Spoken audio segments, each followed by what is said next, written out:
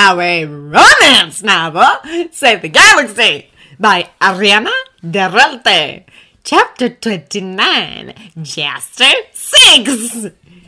Jaster woke up feeling awful. It seems the days where he could stay up all night drinking tihaar, down some water before bed, and wake up feeling fine were long gone.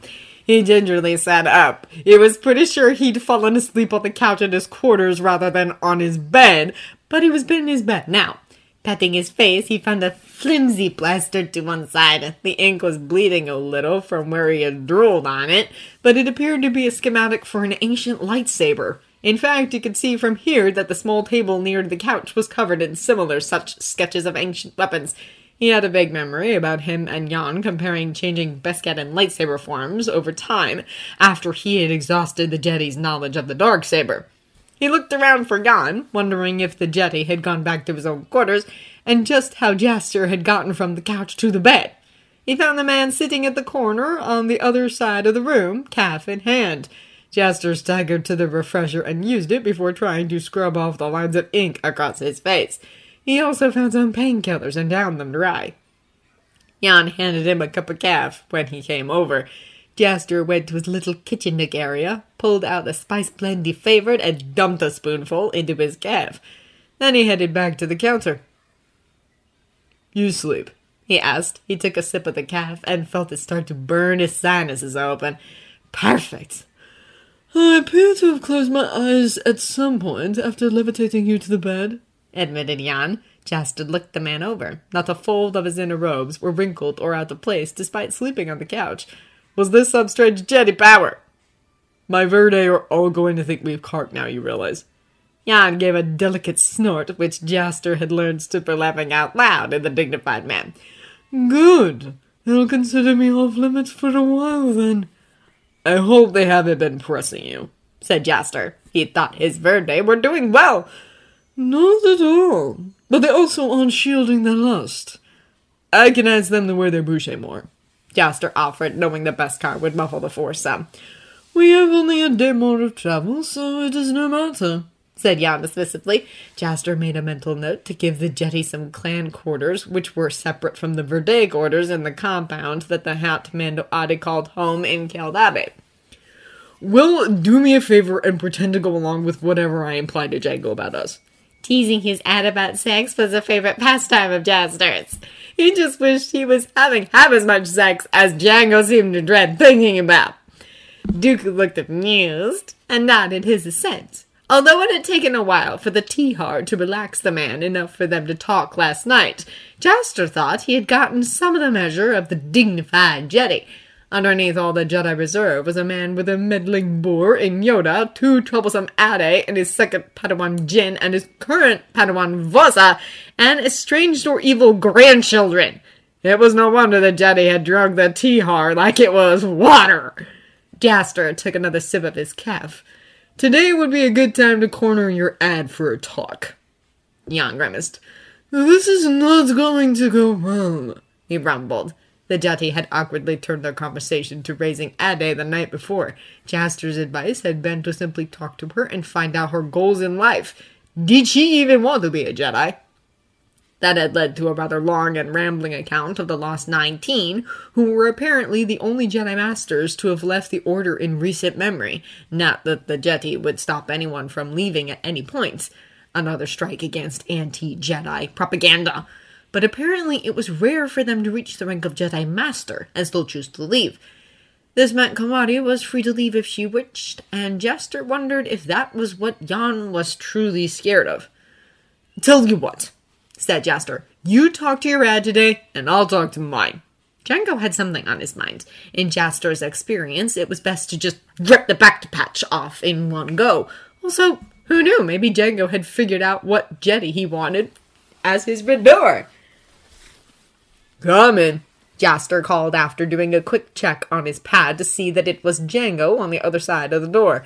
Jaster had summoned him to his quarters when Jango proved difficult to track down all morning. Jango cautiously entered, eyes taking in every inch of the room. Jaster had to bite his lip to keep from laughing. His ad was obviously checking to make sure he didn't have Jan hidden away somewhere in here.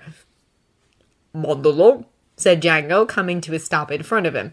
Jaster raised an eyebrow at the formal address, but nonetheless got up from where he had been sitting on the couch. What can I do for you, Attica? He wasn't capable of calling Jango just another buir. Jango thrust a pad in. This is a formal request for the command of our forces against Deathwatch, Alor. Jaster took the pad. Sit, Janika, and tell me your reasoning. He sat back down himself. He certainly wasn't opposed to the idea of Jango taking charge. He'd have handed over the boucher of the Mandalore years ago if he thought Jango could handle the political side. Jango nodded sharply, his expression that bland, stony look he got when he was actually feeling a lot. I don't want your title, Buir, but you've had me train up a few squads of grunts now. I've also led the attack as your second when that Montross wasn't available. I have the experience, and the they know me.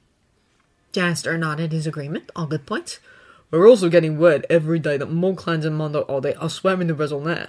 Rumor is that Clan Kryze, maybe even Wren, might swear any day now. That had been the rumor for over a month. Areta Kryze, their information specialist, assured him it was more likely now than it had been the first time he had heard it. Jaster would believe it when the head of clan and house Kryze or Wren swore the Resol'nare before him and not a day earlier. It's certainly not guaranteed, he said. No, said Jango, but if it happens, you're going to have more support than any Mandalorian in centuries. All the clan politics and Allsec that wasn't dealt with during the clan wars will fall on you, and that's on top of all this stuff with the jetii. You're also doing historical research, which is taking up more of your time. Well, yes, it was, but studying history was fun, and not a chore like clan politics. But I know you better get any sleep. You have the Verd'e and all missions with no second in command, for over a month, clan politics, the new Mandalorians, Death Watch, this Jedi Allsec, and your research. You're going to get sick soon if you keep running at 150%. Jaster had been trying not to think about all the balls he was juggling as Mandalore. Whenever he did, like now, he just felt incredibly weary. Say what you will about Montross, but he had been a good second in command. The work Jaster was doing now had him up until the wee hours of the morning every single day. Did you talk to Benin? Jaster asked, suddenly suspicious that their chief medic had put Jango up to this. He was always going on about stress levels. No. Should I have? asked Jango with a predatory smile. He had won this point. But if we really want to stop Deathwatch once and for all, this campaign needs someone's full attention. I know you can lead both, but you don't need to. Jango was correct, but there was something he hadn't thought of. You're already my designated heir. Nobody will question me putting you in command. And if any said it was because Jaster was getting old, he'd take them outside and kick their shams in. But it's a lot of work. You're not going to have free time to read through Jedi personal files. I wasn't going to find a door looking through files and daydreaming anyway, said Jango bluntly. We need to focus on Deathwatch right now. All true, but Jaster couldn't help the pang of regret that he couldn't give Jango the time he needed to find the romance he craved. His ad had come so far from the angry, traumatized boy he had met on Concord Dawn. I'm proud of you, Janika. Bull! It was a token protest. There was a faint blush on Jango's cheeks. I am. I needed this cake in the sheds, so thank you. We'll sort the paperwork out when we hit Mariam. Jango nodded, his posture finally relaxing of the straight back he had maintained since entering the room. He'd probably expected a lot more argument, but he was right. Jaster needed to distribute more of his duties so he didn't neglect something important. It hadn't escaped his notice that Jango was playing to his strengths, however. So, did you come up with this entire plan so you could avoid dealing with the new Mandalorians? Jango bristled for a moment before he realized Jaster was teasing him. Yes, Jabal, that was my thought plan. He deadpanned. Excellent maneuvering then. Perhaps we'll make a politician of you yet. The look of horror his ad gave him was very satisfying. Later that day, while Jaster was making his usual rounds of the ship, he was in an empty corridor when he was slammed back first against the bulkhead.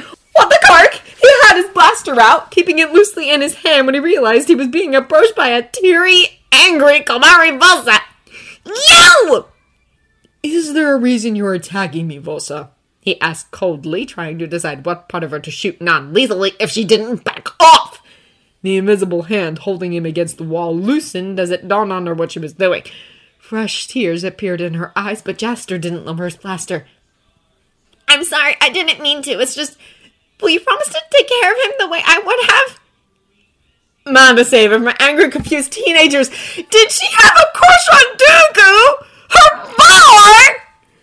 Your buir is his own person and has never been interested in you that way. Of that, Jaster could be totally certain. He was not even sure the man was interested in sex or love at all, but they had at least become friends in the past few days.